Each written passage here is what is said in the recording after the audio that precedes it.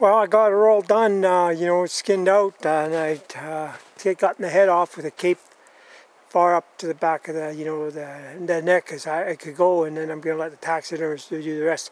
I'm not no good at caping, I, I have to admit it, so I'll let the expert do it. I got I got the, the cape uh, as far up to the ears as possible. I can go, and then I cut it off.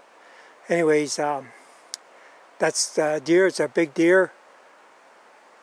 It's like a probably about 100 and uh, probably the way it is now it's probably about 140 pounds that deer right there you know hanging there.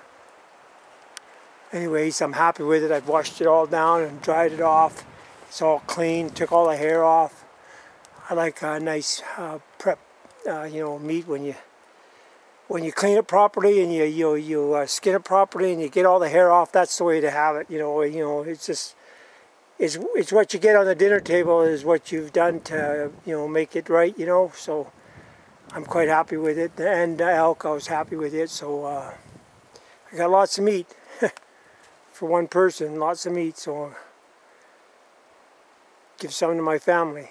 You know they, they, they, they like game meat so that's what I'll do. So anyways it's um ready to uh, go up higher and I'm to tie it. I got her split right open there windpipes all out.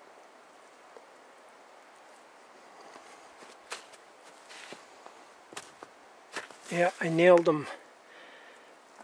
Nailed them right here, a little bit uh, ahead. You know, a little bit uh, ahead on the shoulder, but I didn't wreck too much meat. I got them right there. You know, just uh, on the back end of the shoulder.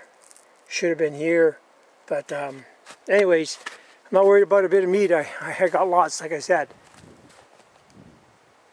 yeah, they're sure starting to rut. They're, they're starting to come into it here on the 14th of November 2011. So I'm going to take it up there, all the way up there, so the grizzlies don't get it, or a block. I tie it up there, and they won't they won't get it because it'll be way up there.